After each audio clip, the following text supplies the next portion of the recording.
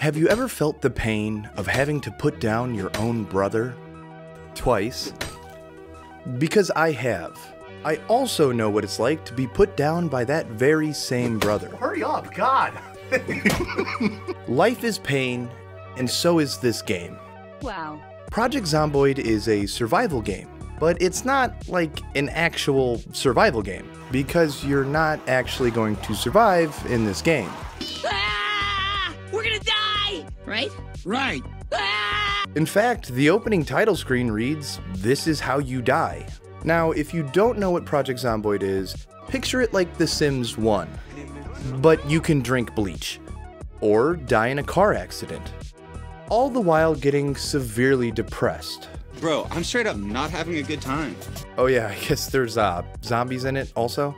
At face value, this game appears to be very simple, likely due to its graphical style, but I can assure you it's anything but, and instead is one of the deepest survival games I have ever played. It's too deep. Uh, Recently, this game has seen a massive hike in popularity. It's been concurrently pulling more active players than Battlefield 2042, which I know that's like really not that big of an accomplishment at the moment, but still it's pretty cool. This is likely due to the recent release of Beta 41 and the inclusion of multiplayer. I will soon experience complete oneness with an interconnected global community of game warriors. So naturally, I wanted to grab some friends and hop on this bandwagon. Also, by the way, if you're wondering, uh, my wife got me a pickaxe for Christmas, uh, so we're not going to use the talking stick that we normally use, and this is going to be a pickaxe video. Sorry for the good quality, you're welcome. But in this video, I'm going to break down all the mechanics in the game and explain why I think Project Zomboid is a very worthwhile experience. So immediately after loading to our server, I quickly realized that this game is not easy. In fact, I wouldn't even call it hard. I would say it's another tier above hard. It's just a brutal butt for misery itself. That honestly never seems to let up. So, why do I like playing it so much? I got the power now! I'm doing good in the game, so I'm doing good in life! As soon as you think you're safe, you realize you're not. And as soon as things start working out for you, something goes terribly wrong. Usually because of zombies. And yeah, there's a whole lot of zombies in this game. So the game starts you off by spawning you in a random house. Any smart player who's played the game before knows that the first thing you should do when entering a game is get your ass to the TV, pop a squad, and start watching the scheduled programming. I'm not joking, I swear to God. If you watch TV, you'll get free XP, but we'll, we'll, explain all that later. After TV time is over, you need to start looting. Now, there's a whole lot of rewarding moments in life. Getting your dream job, or marrying the love of your life. But honestly, these all pale in comparison to finding that item that you've been desperately searching for. Hell, I would put finding a sledgehammer, or, you know, even a pickaxe, pretty cool. Right up there with seeing the birth of your firstborn child. Are you kidding me? Okay, maybe that's like a, a little bit of hyperbole, but uh, you get it. It feels really good when you find good loot. But even if you find a kitchen knife, or you're lucky enough to find a baseball bat, you are going to die. Like, a lot. Combat is pretty challenging at first, and it's all too easy to get attacked by zombies and the reward for getting injured by zombies is straight up dog Listen, punk. To me, you're nothing but dog Do you understand? A lot of things can happen to dog So basically, zombies can assault you in one of three ways. Either a scratch, a laceration, or a bite. And once the zombie has inflicted its trauma, you have a chance of now getting sick and turning into another dead asshole aimlessly wandering around wanting to eat brains. The chances of turning are as follows 7% for a scratch, 25% for a laceration, and a full 100% for a bite. And yeah, did I mention how easy it was to get hurt by them?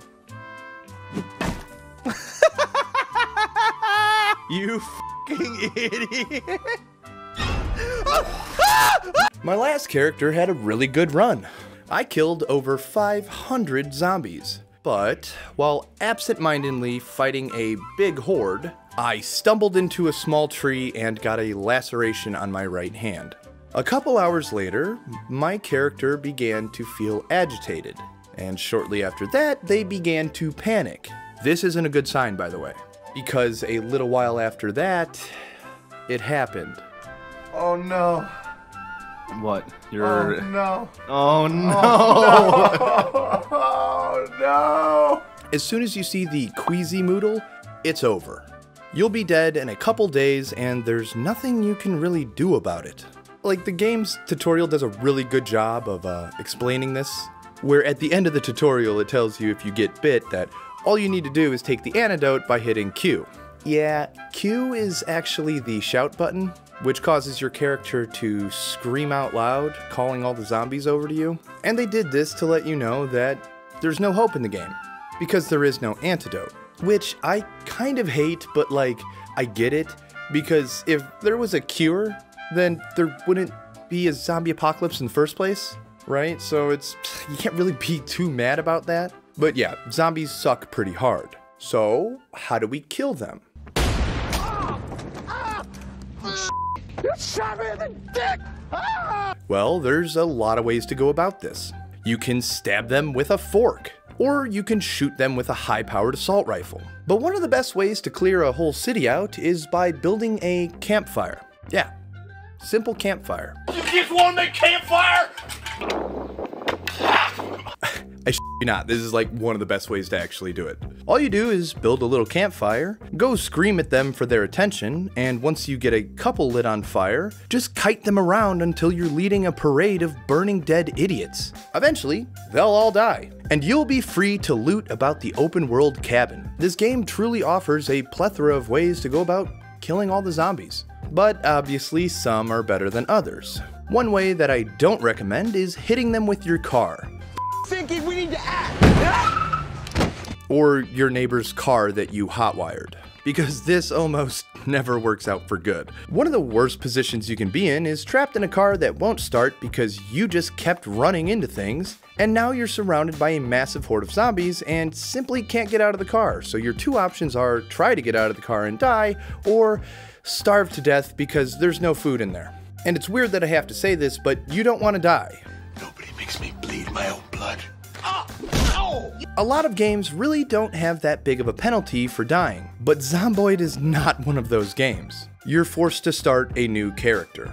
Because when you die, you pretty much lose everything that you've been working for. Let me explain. Your character can level up in 25 different skills, and once you die, all those skills are set back to zero because you are forced to now start a new character. So imagine how happy I was after spending three hours of real life time taking headlights out of cars and putting them back in, Also, I could be a better mechanic, just to die because I fell over a fence and I got attacked by zombies.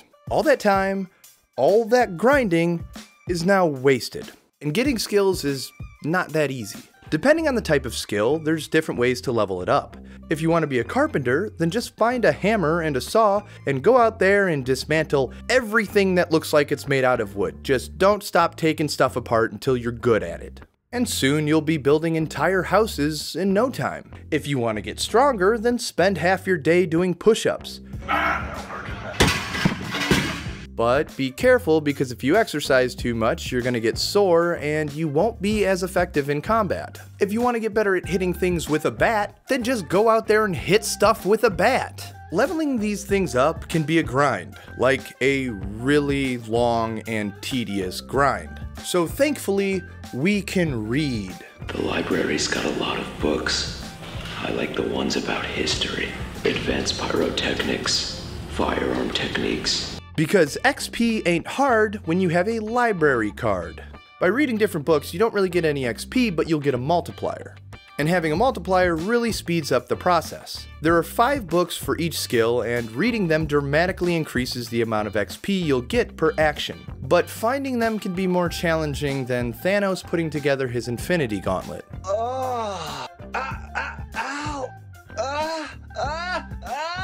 But trust me, it's very worth it. You'll end up with like a 12x multiplier at the end of reading all of them, and that is invaluable. Now, I mentioned the first thing you should do is watch a little TV. The reason for that is because three times a day for the first week, the Life and Living channel runs shows that will give you free XP. and they say TV rots your brain. But the guy who's hosting the Woodcraft show who refuses to take his shirt off is showing me how to build stairs. Woodcraft levels up carpentry, but what I really want is I want to see him with his shirt off. He keeps teasing it and I hate him for it. Show me them nips, like, man, come on. Quick side note YouTube doesn't rot your brain either, so just keep watching my videos. And if you really want to live a long, happy life, go download ExpressVPN using my link below. Okay, quick ad over. See how harmless that was? I'm really good at doing these. Outside of skills, we have traits that your character can have. And these traits truly shape you at your core. But there must be harmony there. If you choose a bunch of positive traits, you'll have to counterbalance them with negative traits. So if you want to be a fast learner with thick skin, you might also end up being an obese smoker. And if you couple all those traits with the mechanic career, you can truly roleplay as my abusive uncle.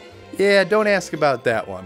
F you, Uncle Kevin. I still hate you, by the way. It's really hard to explain all the things you can do with all these traits and skills and not have this video be like an hour long. You can forage for berries, you could build a house, you rebuild a whole car using parts from other cars, you build farms. There's also fishing and trapping for outdoorsmen. There's power and water systems that you'll need to build if you want to make it past a couple weeks. And the cooking system in this game is one of the most in-depth cooking systems I've ever used.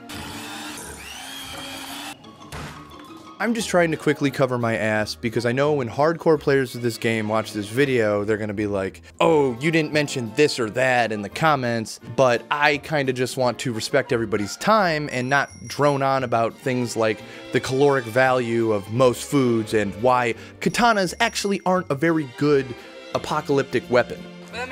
That made a good pop. But anyways, there's a lot of ways to build your character, and there's a lot of ways to die in this game. Most of the time, it's not from zombies. A lot of the times, it's from eating rotten food, or cutting yourself so deep that you bleed out. I've seen my friend set himself on fire more times than I can count on one hand. And now that you understand how easy it is to die, and how intricate the character creation system is, now it's time to go ahead and talk about Hell, aka Kentucky. Used to be attractive. I'm sorry. The map for this game is massive. Driving from one city to another is not an easy trip. Every time I do it, I feel like Rick Grimes from The Walking Dead.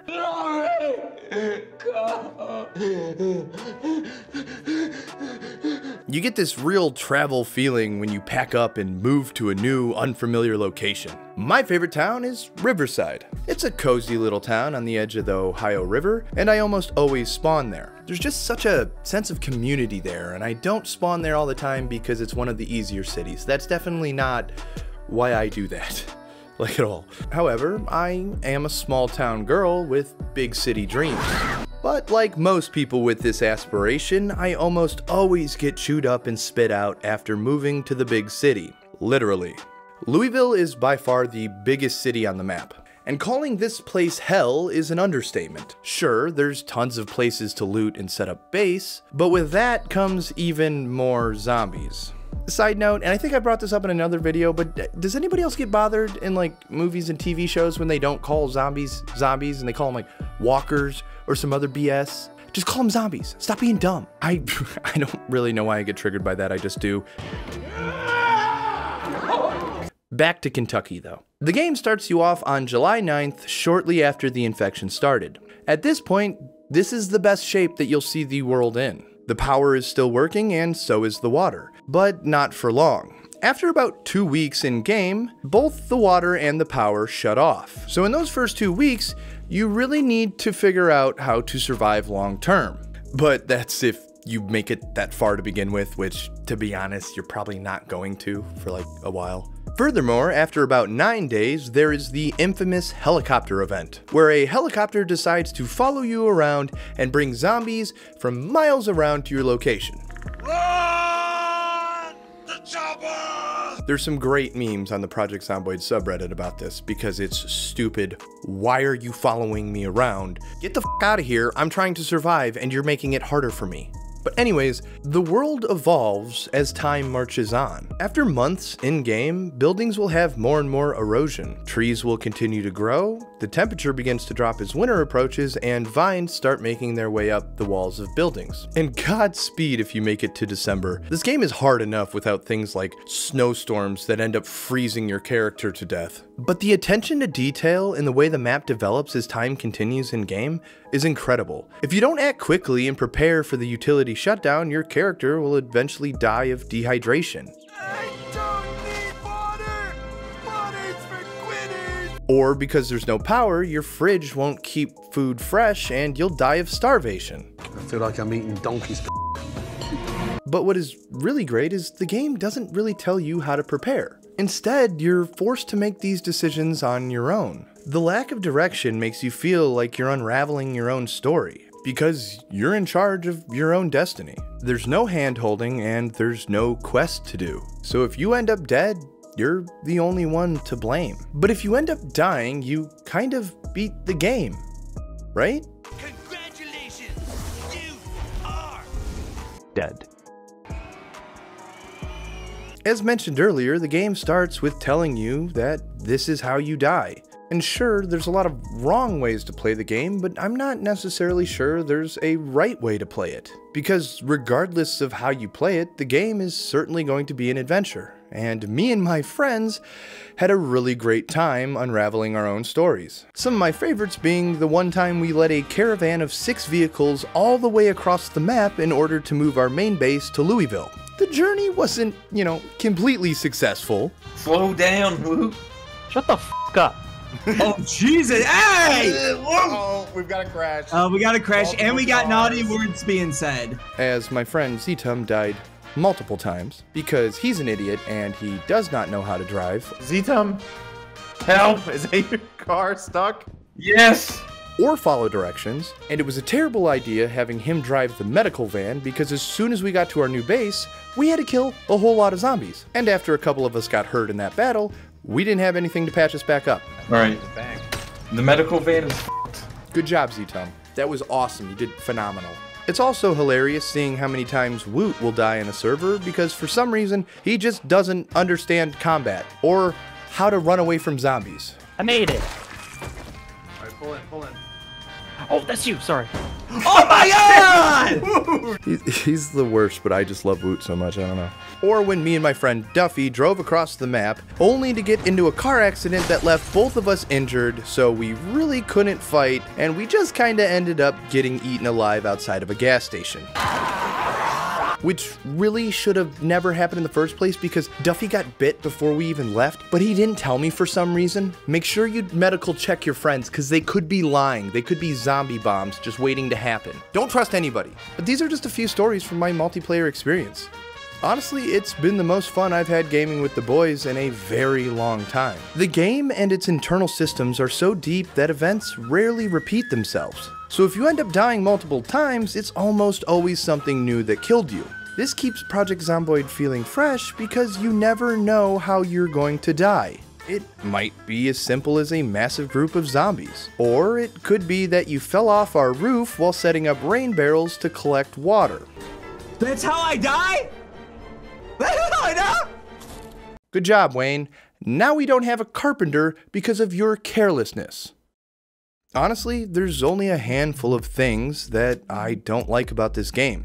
Like, one of the biggest problems I think I have with the game is that if you're taking apart a car and you take like a door or a tire off the car, it automatically goes into your inventory. This causes your character to be overburdened because they're carrying like a big ass car tire. So when a zombie sneaks up on you while you're working on a car in some parking lot, your character tries to run away holding a whole ass car door instead of just dropping it. It just makes more sense if when you take a door off a car, it's just, it lays on the ground. Why am I holding on to this damn thing? I always thought that was dumb. I don't know. I also think that, you know, the movement and the combat are a little clunky at times, but you get used to that relatively quickly. These aren't necessarily problems with the game, they're more so growing pains as you learn how the game works. Project Zomboid is an enigma of sorts. Much like The Sims, there is no winning. There's no final victory, and there is no end credits. The point of Project Zomboid is to die. The excitement of the game comes from your accomplishments before that sweet embrace of death inevitably takes you. And because there is no reset, the pain of losing your character and all the time you spent with them grinding is a really tough pill to swallow. But that's the beauty of it. In a game like this, finding a can opener can feel like winning the lottery, and surviving a close brush with certain death triggers an adrenaline rush. And this is because you know what's at stake. So even the smallest victories, like eating a rotten cabbage so you don't starve to death and live to see another day, can feel empowering and also give me the little hope I need to continue my journey to the grave. I wish nothing but the best for this game, and I hope it continues to succeed. So people all around the world get to feel the same despair I do when doing something like taking a turn too fast in my car and crashing into a light post, or opening a closet door. Because Project Zomboid doesn't really teach us about the pain of death. Instead, it shows us how the little victories along the way make life worth living. And I think that's beautiful. Thanks for watching.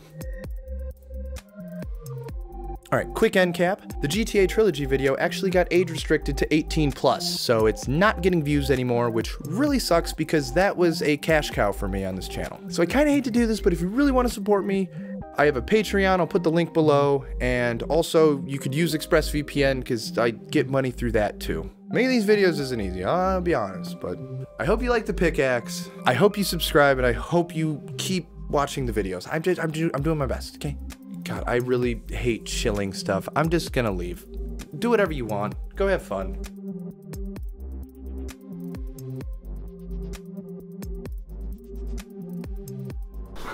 Wow, what a great video.